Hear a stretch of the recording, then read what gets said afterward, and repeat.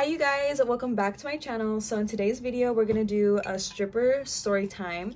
I'm gonna say like two stories, two crazy things that have happened to me at the strip club. And then just I was gonna say another two. So we have chips, the new Takis Waves chips. This is my first time trying them, but just I was raving about them, so I had to try them too. And we put limon in them, so if I seem a little like spicy during the video, it's because I haven't had chili in a while, and I feel sensitive to spices right now. So, I don't know if I've ever said this story on here. I don't think I have, huh? On the podcast. I said it on my podcast before, um, but I never have said it on my main channel. So, basically, my first craziest stripper encounter. experience encounter story. Okay, so basically, I was dating this guy for about how long was I dating him, and I hadn't told him that I was dancing. Only like two months, cause you you started dancing right when you met him okay, so I had met this guy and then I started dancing, but I didn't tell him that I was a dancer. And my biggest fear was him finding out. And for some reason, I just could not get myself to tell him just because I felt like he would have never accepted it and he didn't want to be known as dating a stripper or like like having a girlfriend as a stripper or whatever. And so I was super super ashamed of him ever finding out that I was a dancer. And I was planning on telling him, but just every time that I wanted to bring it up, it was just like it just couldn't happen for me. I don't know, like I couldn't have I couldn't find the words to tell him like this is what I do. And like he would kind of question it and I and kind of be like how are you like buying certain things and like how are you affording oh. a certain lifestyle? And then um he would be like when do you work? Cuz we yeah. worked at a restaurant and then he would go or his yeah. family would go and like oh they never see you there. And yeah. Like, I know. And then so before becoming a stripper, I was a waitress at this restaurant. He would go to that restaurant often. Actually, we met at that restaurant. That's where we met. and it was crazy because he was like, well, like I don't see you at work, blah blah. And I was like, well, uh. and I think he believed it for a little bit, but after a while, I think it just got too much to where it's like, okay, obviously you're lying. Yeah. So I think he did his research.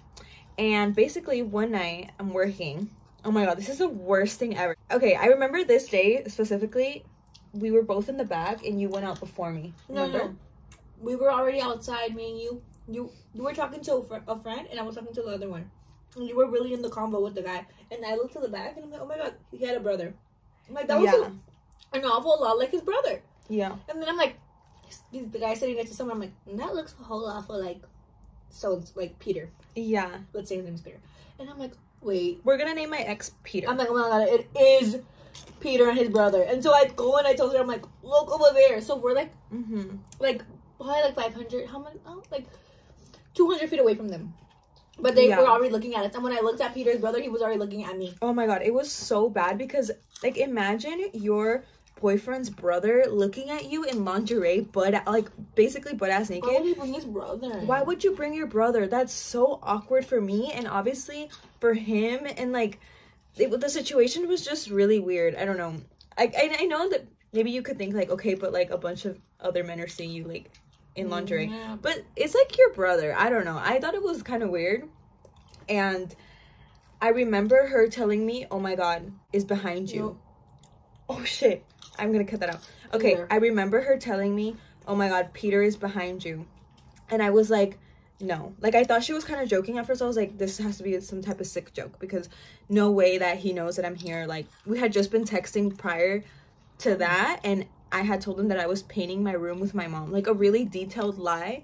So I was like, no way like we were good like we're texting i know where he's at he knows where i'm at supposedly so like no and she's like, no, like look behind you. But I did not have the guts to look behind me. So I just start squatting down. I start going like this. I remember now. Literally, I start going like this. And then I was with a customer. We're not a customer, but like I was talking to someone, this guy who I wanted to get a dance with, and he was like, "What's going on? Like, why are you going to the floor?" And I was like, "My ex boy, my ex boyfriend, my boyfriend is here, and um, like he doesn't know that I dance and I don't know what to do. Like I didn't know if he had seen me yet. I didn't know if he was there because like he wanted to be there. I didn't know if he was there because he knew I worked there. I was just really confused. I was like, oh my god, like what's going on? So basically, I finally like get the guts to go up to him and obviously ask him like, what the fuck are you doing here?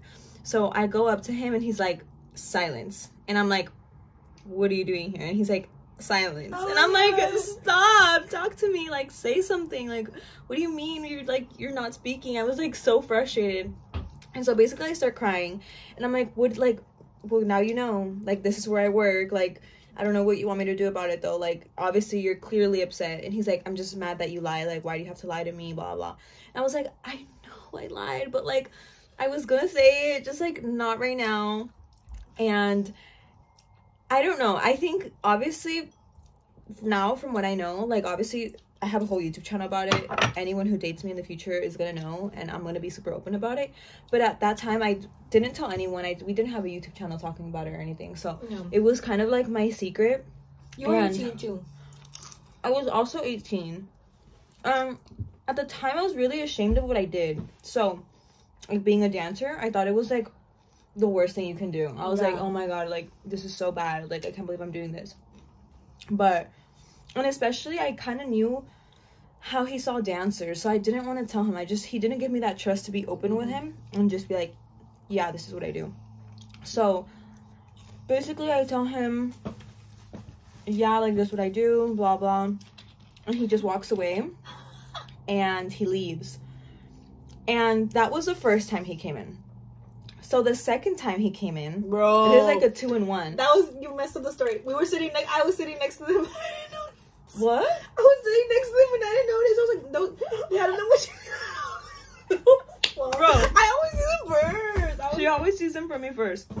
So basically, after that time, okay, so after the first time that he left, and I want to apologize if we're not the best storytellers because yeah. we don't do storytelling for a living, okay? We're And we vloggers. forget shit. Yeah, and I kind of ramble, but stick with me. You know what it was? I think I think I had promised him that I wasn't gonna go back, and that I wasn't gonna dance anymore. But I was still dancing. He's like, "Promise me you're not gonna dance." Yeah, that's what it was. I'm pretty sure. That's it. And he came in to see if I was dancing. Oh Obviously. I was, cause like, what the hell? Um, and this time it's way worse. So this time he comes in and he gets a dance from another girl, and I'm like shook. Obviously, I don't know what to feel. I'm radiating with anger, um, because that's not his job. Like he should not be doing that. Second of all, like I know this girl. Like I've talked to her. Like she's like not my friend, but I'm like Acquaintance. her acquaintance, and we've talked about like surgery and like weird little details. So it's like I just thought that was really weird. So I was like, what do I do in the situation? He's here. He knows I work here. He's obviously doing this out of spite. And I was like, I'm going to just dance with someone in front of him. Like, I'm going to go to, because they went to the VIP. and I was like, I need to see what they're doing in the VIP. What the fuck? Like, what? And so I grabbed this random dude. Like, this is random. And I like, went to. I was like, I'm gonna give you a free dance. I was like, but just come with me to the VIP. I'm not gonna charge you anything. He's like, bet, like for sure. And then so I take him to the back, and then he's like, um, he's like, oh, like whatever, like I can go to dance. I'm like, yeah, yeah, just like sit, shush. And then I stand, I sit right across from him, and You're he brave, starts laughing. Like he thinks it's funny. And i'm like this is not funny. Like i'm literally radiating with anger. I'm like what are you doing here? Like you're making my heart my job 10 times harder. Like this does not need to happen right now. Like you're childish. Like That was terrible. Bye. yeah. And so i tell the girl so the girl starts asking him why are you laughing because as soon as i And they're, you're Start- both laughing, huh? yeah as soon as i start dancing in front of him he starts laughing and then he, she's like why are you laughing to him and then i tell her i tap her and She i'm was like facing you? No? she wasn't facing me You tap- but I did oh. tap her. I was like, he's laughing because he's my boyfriend and he thinks it's funny to get a dance in front of me. Oh That's my exactly God, what I told her. And she was like, Brave. Is that your girlfriend? Like, girl, ever since then, ever We've since never this spoken time, to her I haven't spoken to her since. It's been years. I thought it was weird a little bit that she like took his side automatically and not mine. Because like girl, I work with you. I'm your coworker. Like you're never gonna see this guy again. Trust me, he's never gonna come in. He doesn't even like going to the strip club. So I told her that and she asks him, um, is that true? Is that your girlfriend? And he was like, No, I don't know her. She's crazy. I heard her I heard him say that. And I was like, obviously Die. She like sides with the customer and like believes him or whatever. She's like, Do you want us to move? Like like acting like I'm I fucking would, I would insane. like, is he really your boyfriend? And then, yeah. but why would a girl? Why would you lie? And you're not someone who's known to her to be lying. So why would you no, make that up? and it's like I don't know. It was just weird. And then she's like, um, like I, like yeah like let's let's we can move like to another booth. So then they move to another booth. Obviously i can't see what they're doing anymore so i'm like pissed and i'm like tell the guy to get up. I'm like we're leaving. And then i just walk away and then We left, right? i go into the locker room and i was crying remember? Oh, yeah. and she like came in with me to the bathroom. She's like it's okay. Like he's just like doing this because he's like childish like blah blah I was like, i'm like he's, he's, so annoying Why is like he here? Oh, and we asked the security to remove him, huh? uh-huh and then i was He like what can i do to get him out of here like i'm done with him like No. um, after this, I'm never talking to him again. It's just too much pressure. I can't take it. Like, I'm gonna keep dancing, and I don't want to keep lying. So he just he gotta didn't go. have to dance with someone else. he didn't that have to dance with someone else. That's, I think that's crossing the line. And he didn't know if that girl was my good friend at the club. Mhm. Like, he didn't know. Like, that's just weird. I think because he wanted to give you a taste of your own medicine. Like you dance Uh-huh. with guys, so how about I dance with the girl? Yeah, But it's not the same. which I get it. But it's not the same. But it's not the same. You're getting paid. You Yeah. came and you paid her. You Yeah. like, what are you doing? Yeah. And so I tell the security, I start crying to the security. I'm like, that's my boyfriend. And he wants to come and sabotage me and stalk me. And he's insane. And so the manager goes up to him, he's like, bro, you gotta leave. Like, you're making one of the girls uncomfortable. And usually the securities will side with the girls, especially if I tell them that that's my Mhm. boyfriend and he's coming and like stalking me, they're gonna remove him. So Mhm. I told him, and then they made him leave, and I think he got a little embarrassed. Believe it or not, after this toxic ass relationship, we try to make it work even after this, which obviously the relationship is done for. But we still talked for a little bit after, and then we decided that I decided. Well, we both decided that that was never gonna work out. So it was time to part ways, and obviously, a single life's treating me good. single life is treating me good as fuck. So now I don't have to worry about no one. And if you're a stripper, not that I recommend. If if your situation is good, then obviously I recommend you like being happy and doing whatever you want, like staying in a relationship. But if your relationship is deteriorating because of stripping, like mine was, you need to choose like your happiness. And if your happiness is working and like making your money, then I would say go with that. Mm-hmm. Or if your happiness is your boyfriend or whatever, then I mean I'm not here to judge, you know, then choose that. But I feel like sometimes you just have to Choose yourself. choose yourself and your happiness and what you want to do.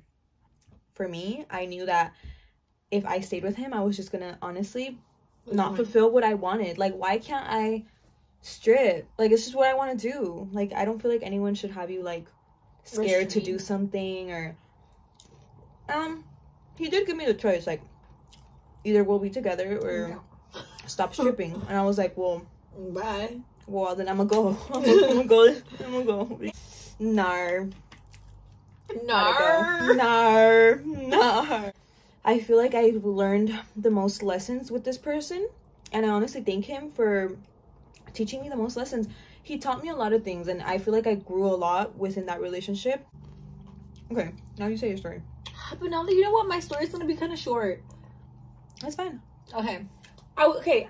Can we give a shout out to Emma Chamberlain? We Yeah. love Emma Chamberlain. We want we want to meet her. She Mhm. is everything. And I got I'm inspired to tell a story be- because of her. Because if you guys watch the podcast, we did a story time and Sarah was asking me to tell a story and I didn't want to. Because I got Mhm. embarrassed. But Emma, you guys watched her recent podcast, was talking about a similar situation. So I'm gonna talk about it. too. So that day you weren't there. Sarah wasn't there. Like no, Loki like no. This is a funny one. so I that day was eating a lot of stuff, and I was mixing coffee.